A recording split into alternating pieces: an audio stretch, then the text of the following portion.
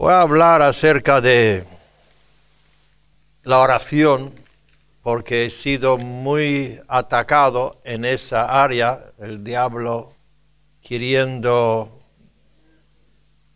anular, quitarme de la oración y no lo ha conseguido ni lo va a conseguir pero ha sido una lucha muy intensa. Nunca esperaba yo la vida cristiana una lucha tan fuerte. Así que le digo, no para asustarle, sino avisarle que el diablo tiene una estrategia preparado para cada uno de nosotros para destruirnos y si no nos destruye, anular nuestra efectividad. Tiene una estrategia específica para cada persona. Estaba yo contando a los hermanos cómo el enemigo utiliza las ofensas. Utiliza las ofensas para ponernos en contra de Dios y en contra uno al otro, y es la puerta abierta a los demonios. Si no solucionamos las ofensas, estamos abiertos al engaño, porque después de la ofensa enseguida viene un espíritu de engaño. Si hay ofensas, si sientes ofendido y tomas una decisión con eso, sabes muy bien que es el enemigo que te está torciendo. Y es muy astuto. Astuto. Los jevites o los jebionites, que eran de la tierra de Canaán, se dieron cuenta que Israel era fuerte y, se ensuciaron su ropa, rompieran su ropa para que parecían ropa vieja y venían muertos de hambre y decían, venimos de un país lejano para que hacemos un trato, un convenio, un pacto con vosotros que nos proteja. Y eran de Canaán, eran de ahí, eran vecinos. Pero engañaron a Israel para hacer un contrato o un pacto con ellos para protegerles y después que habían hecho el pacto, pues ya Israel estaba comprometido a protegerles y eran enemigos. Así que el diablo busca cualquier forma de que tú hagas algún pacto, algún convenio, algún arreglo engañoso, pero luego te tiene atado. Y estoy viendo el engaño, esa es la palabra, el libro Tiempos Peligrosos, lo tenéis que leer porque es palabra en, su momento, porque he visto pastores reconocidos como grandes haciendo barbaridades y la gente viene a millares. Cualquier pastor que está ahí que diga cualquier barbaridad tiene 10 a 15 millares que le escuchan. Y me quedo sorprendido. Entonces yo estoy aquí como un pequeño diciendo, que no hagan caso a todos los engaños. Ten cuidado de estar bajo cobertura. La cobertura es tu protección, no es tu opresión. La cobertura, la actitud de estar bajo cobertura, sumiso, es tu protección. Y sale de ahí y hay engaño. Tener ofensa es abrirte al engaño. Y Satanás es mentiroso, ¿no? ¿Y tú crees que es cualquier mentiroso? Es un mentiroso con mucha experiencia. Cita, cita bíblica. Conoce la Biblia mejor que ninguno de nosotros. Y lo tuerce. Así que alerta. Yo soy guardián, le estoy diciendo alerta. Y lo que quería hablar hoy es que la cosa más importante como cristiano que debemos ser es de aprender de orar. Porque si puedes orar, Dios te puede avisar y guiar. En toda la cosa que tú puedes aprender aquí, lo más importante es poder tener comunión íntima con el Señor. Es lo más difícil, pero lo más necesario. La oración mueve el Espíritu Santo y el Espíritu Santo engendra vida y edifica a nosotros. El que sabe orar no tendrá problemas en testificar, predicar, enseñar y vivir en santidad. La vida de oración resiste el diablo y evita muchos peligros y errores. Y este grupo de Israel, cuando hicieron pacto, no oraran antes y cayeran en este engaño. La oración es una defensa del enemigo y produce poder para cumplir la voluntad de Dios. Somos llevados por las oraciones de otro.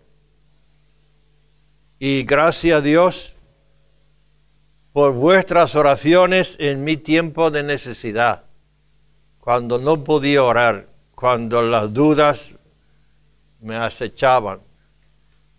La oración es imprescindible y hay tantas otras cosas importantes, pero una cosa es necesaria.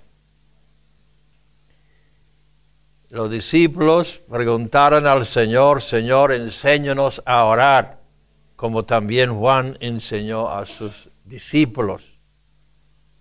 Y Jesús dice, cuando oréis, decid, Padre nuestro. Primeramente, la unidad del cuerpo de Cristo. La Biblia dice que en los últimos días muchos serán engañados y se entregarán el uno al otro. Esa palabra mucho en el griego, ¿sabe qué significa?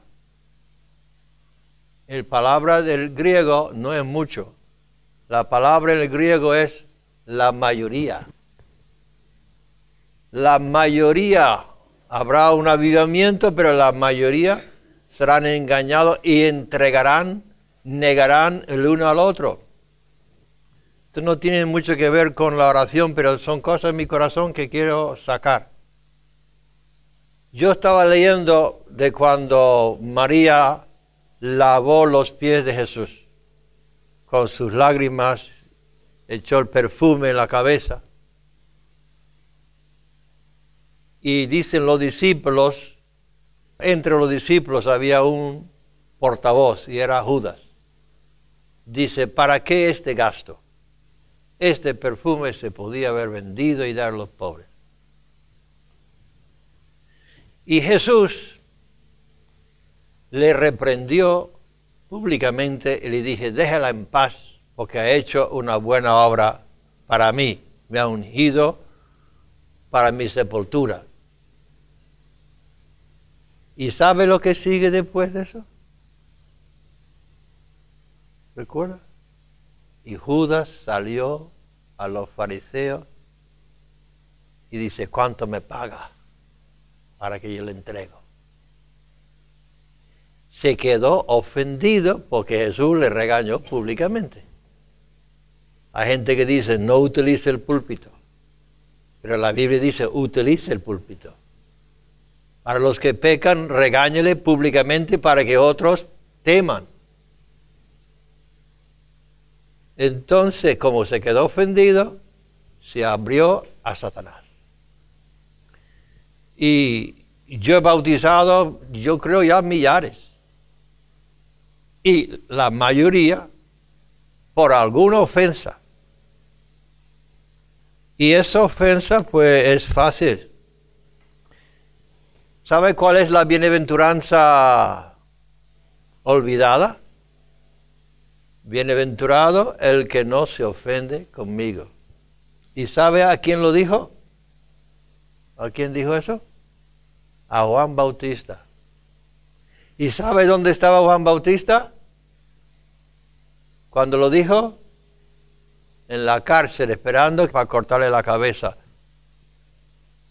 Entonces, mira a este hombre que vaya adelante, que prepara el camino para Cristo, que predica a millares, diciendo, el que viene no soy digno de desatar sus zapatos, él es que bautiza con el Espíritu Santo y fuego, y él era el hombre que le abrió camino a Jesús, y Jesús viene y le mete en la cárcel para cortarle la cabeza. Y Juan dice, ¿será este o esperamos otro? Ya comenzó a dudar. La cárcel es un sitio donde no puede salir. Y en esa cárcel pues le entran muchos pensamientos, muchas ideas. Entonces hay muchos que se ofenden con Jesucristo porque, ¿por qué no me contesta mi oración?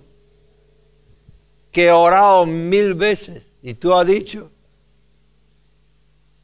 tu palabra dice, y no sale, y no sale. Entonces se ofenden con Dios o se ofenden con el pastor. Siempre van, primeramente el pastor, luego con Dios, luego los diáconos, luego la iglesia. Y ahí es donde está Satanás esperando la ofensa, entra la mosca, pone el huevo. La solución es amarse uno a otro, perdonarse uno a otro. Jesús dice, cuando oréis, decid Padre nuestro. Ahora, yo soy especial, pero tú también eres especial porque somos hermanos. Somos miembros del cuerpo y hay que dejar el canibalismo. La Biblia habla del canibalismo. ¿No lo he visto? Dice, cuidado si estáis mordiendo uno a otro que no se devoran uno al otro. ¿Y eso qué pasa?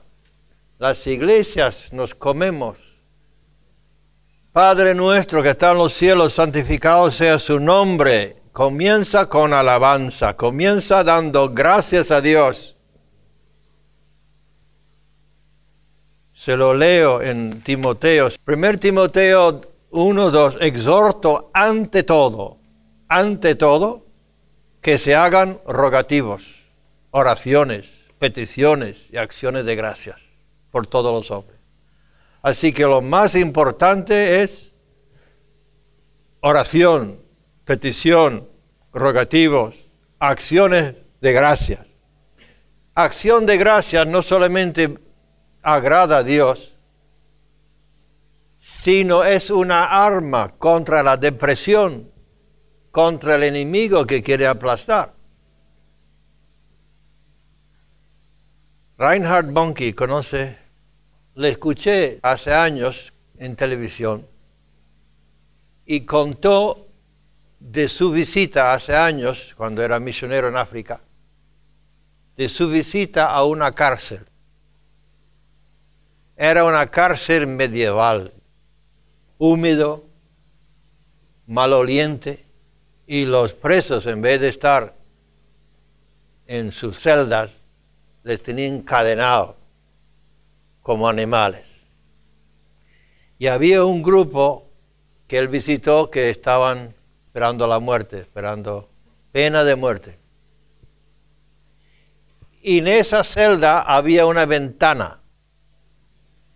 Y por la ventana podían ver el árbol. Y cada dos por tres sacaban uno y le ahorcaban en ese árbol. Y esto le podían ver sus compañeros ahorcados. Y no sabían cuando venían a sacarle, a ahorcarle. Y cuando él llegó, estaban con sus cadenas, pero estaban cantando. Y utilizaban las cadenas como panderetes. ¿Y sabe lo que cantaban? Este es el día, este es el día que hizo el Señor, quiso el Señor. Me gozaré, me gozaré y alabaré y alabaré.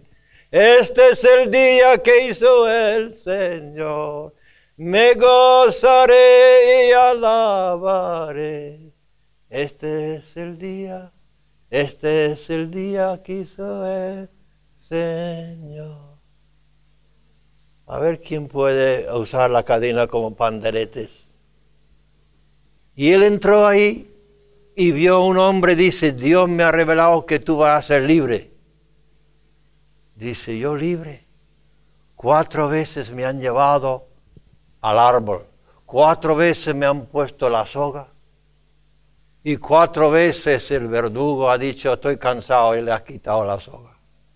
Entonces Reinhard Bonke se fue al encargado de la cárcel, una mujer, y le dije, ese hombre tiene que ser libre. Y ella dice, pues sí, págame todos los estudios de mis hijos en América y yo lo libro. Y él dice, mira, soy misionero pobre y yo no puedo pagar nada. Y si no le dio, nada. Pero pasaron los años y él estaba en una campaña, vino un hombre y se le tiró a los pies. Dice, soy el hombre que tú dijiste que iba a ser libre. Estoy vivo.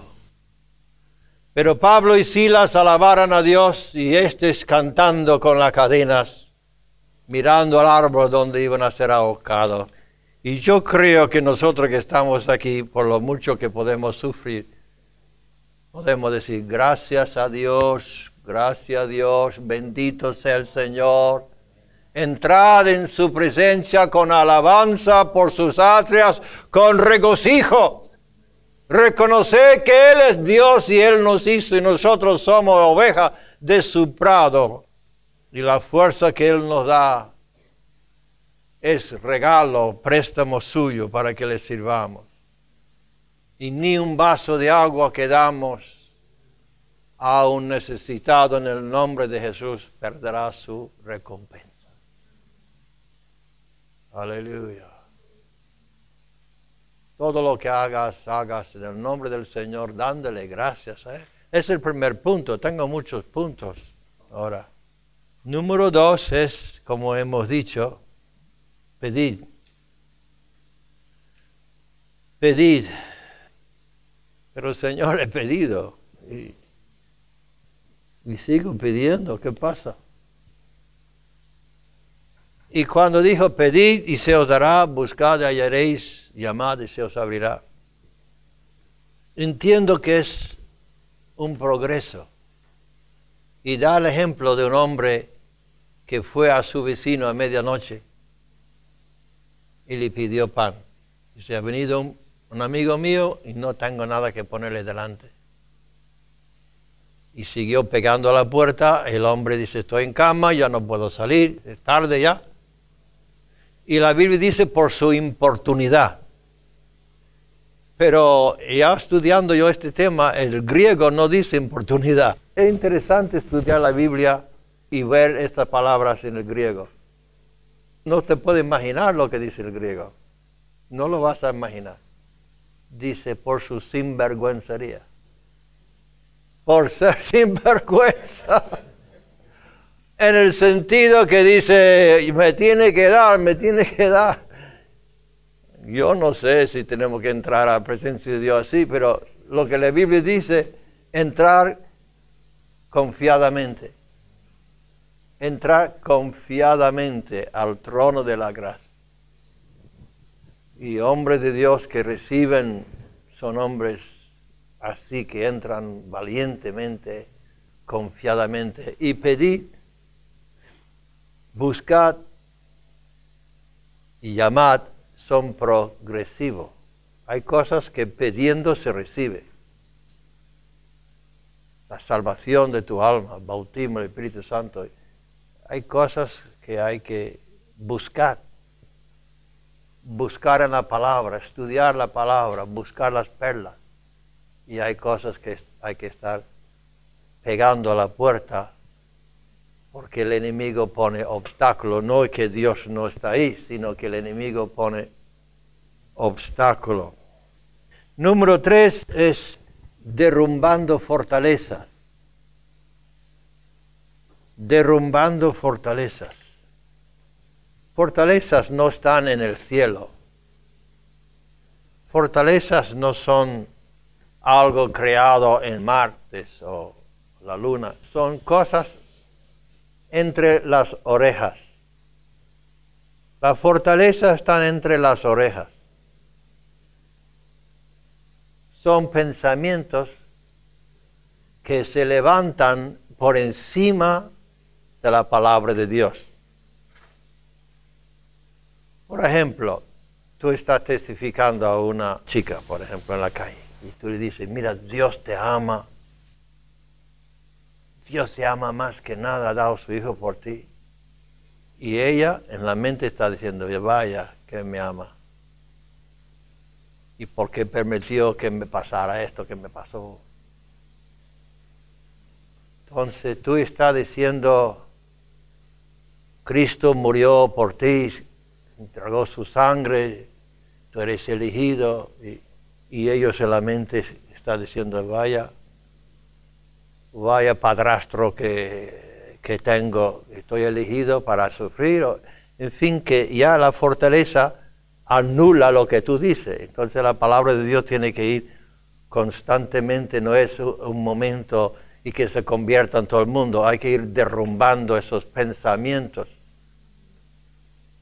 O por ejemplo dice, pues hay que obedecer los que están encargados, los que Dios ha puesto responsables. Dice, sí, pero ellos son hombres igual que yo, se equivocan igual que yo. Ahí está la fortaleza. Entonces no se somete porque dice, pues mira, ellos son igual, tienen fallos también. ¿Entiendes? Lo que es una fortaleza. Yo cuando estaba en la Marina, en Nueva York, en la guerra, y cuando yo estaba en Nueva York en la guerra, había un hombre que tenía unos galones más que yo. Yo tenía algo, él tenía unos más. La verdad que en la Marina el chief tiene un uniforme distinto, ¿no? Pero él era marinero, pero tenía más que yo. Y yo no sé lo que me mandó, pero no le hice yo mucho caso. No, recuerdo desobedecerlo, pero... Y enseguida viene el chief. Vaya. Y me dio bien. Desde aquel tiempo recuerdo que el que tiene uno más que yo está en superior. Y está apoyado por el gobierno. El gobierno de Dios. Dios lo ha puesto ahí. Entonces, es obediencia a la autoridad que me proteja. Y eso quita esas fortalezas en la mente. Derrumbar fortalezas. Tener la palabra de Dios por encima. No deja que se aparta la palabra de Dios de sus ojos. Cuando la Biblia dice Abraham no consideró su propio cuerpo, sino se fortaleció en fe, eso es una traducción mal. La palabra en el griego, fíjese lo que estoy aprendiendo yo del griego. La palabra griego es cataneo. Cataneo significa considerar. Considerar reconocer, observar. Entonces no dijo que Abraham negó que era viejo y que Sara era vieja. No lo negó. Hay enseñanza que hay que decir, niega que tú estás enfermo, no, que Dios te ha sanado, pero tú estás sano, tú estás sano, tú estás sano. ¿no? Y hay que repetir muchas veces, estás sano, estás sano. Y ese se está corriendo por toda la iglesia, pero cuando Jesús oró por la mujer encorvada, no dijo, está sana, está sana, dice, estaba encorvado, estaba encorvado, 18 años, pero la voy a levantar.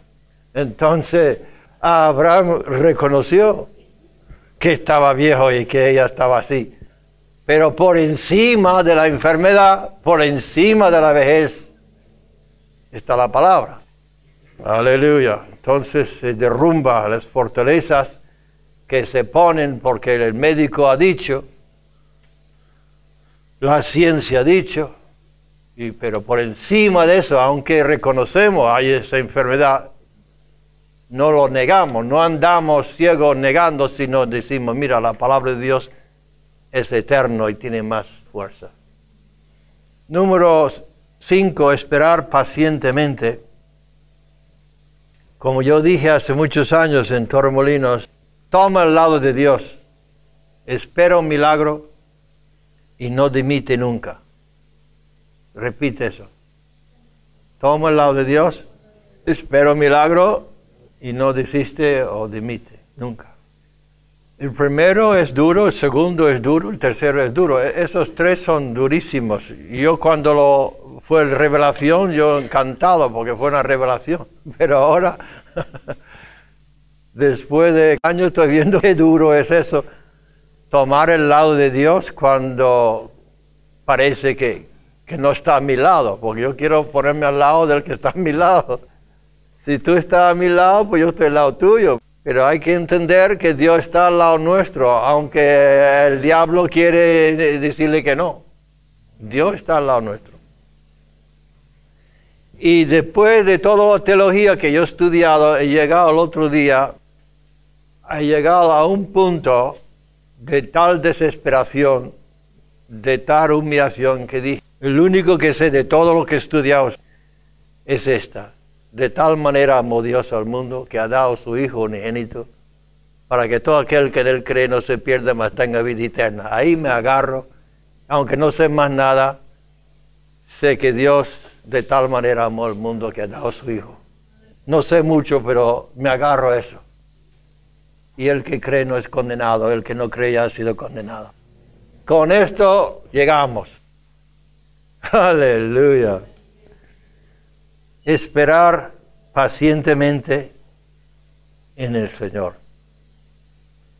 Y el que viene a Dios tiene que creer que hay Dios y que es galardonador. En español dice de los que le buscan, ¿verdad? En inglés añade una palabra más que creo que es la traducción más correcta y es que le buscan diligentemente que le buscan constantemente. En la guerra en que estamos, queridos hermanos, la guerra por nuestra salvación, la guerra por vencer, la guerra porque estamos aquí en pequeña luz, en unas tinieblas densas, y la guerra es, intenso, no es cualquier cosa. Hay que orar y orar mucho. Hay que llenar el vaso del incienso no es una oración pequeña. La Biblia dice, no sabemos orar como conviene. No piensa que tú sabes orar como conviene. Esa palabra conviene en el griego es una palabra legal que dice, no sabes orar correctamente, no sabes lo que Dios quiere correctamente, legalmente. Entonces es el Espíritu Santo que nos guía y hay que esperar. En vez de venir al culto de oración o en tu oración privada y salta hablando, espera en el Señor, espera en el Espíritu Santo que nos lleva a la oración, que nos guía. Comenzamos con alabanza, comenzamos con confianza, comenzamos dando gracias, comenzamos perdonando si hay algo en el pasado, aunque sea 20, 30 años pasados si no perdona, porque dice Cristo, si no perdonamos, ¿qué? No seremos perdonados. Algunos saben la historia de la mujer en Miami, donde fui después de la guerra en Cuba. Salí de Cuba, estuve unos días en Miami. Y el pastor me trajo una señora para que la librara de demonios. Él ha estado luchando con ella días y días y semanas y sin resultado. Era una mujer que Dios la utilizaba en la iglesia, el don de lenguas e interpretación. Marido dirigía la música, dirigiendo el coro. Pero él cayó en pecado con una mujer porterequeña. Y cuando se la confesó a ella, pues ella no pudo asimilar eso, no pudo perdonarlo. Y ella maldijo a esa mujer y esa mujer murió. Hay que bendecir y no maldecir. Esa mujer murió y ella se quedó endemoniada. Esta mujer, usada por Dios de tantos años, quedó endemoniada. Y cuando yo fui a tratar de echarle los demonios, tenía una fuerza tan grande que me quería arrancar los ojos. Y el marido la tenía por detrás en esta posición, Nelson se llama en inglés, no sé, con los brazos así. Y ella ponía los tacones en el banco y él con toda su fuerza no podía impedir que se levantaba y pegaba voces, comunistas, los comunistas me están atacando. Las ventanas abiertas. Tres días de lucha y por fin la llevamos al hospital Jackson en Miami, donde las guardias tenían miedo de acercarse a ella, le tuvieron que poner camisa de fuerza. Y ahí no sé más nada de ella, por no perdonar. Parece injusto. Él hizo lo malo y ella pagó la factura. Pero yo te lo digo, perdonad, para que seamos perdonados. Aleluya. Pues yo creo que he dicho todo lo que tiene que decir. No podemos hacer nada sin Él. Dígalo conmigo. No podemos hacer nada sin Él. Y otra frase, Él no lo hará sin nosotros. Él no lo hará sin nosotros. Así que es una colaboración entre Dios y nosotros. Es una colaboración entre Dios y nosotros. Y hay que aprender a orar como nadar. Cuando yo fui al servicio militar a aprender a nadar, eran muy gentil conmigo los militares.